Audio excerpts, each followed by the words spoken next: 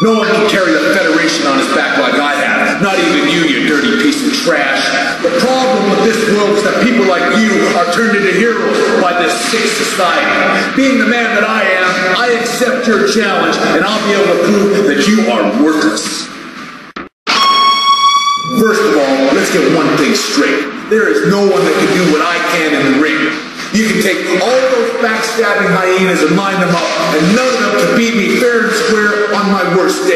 you're no different from any of them, and you're about to be excellently executed.